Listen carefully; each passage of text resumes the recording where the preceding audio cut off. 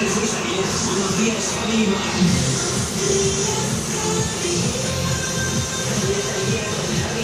Mucha música.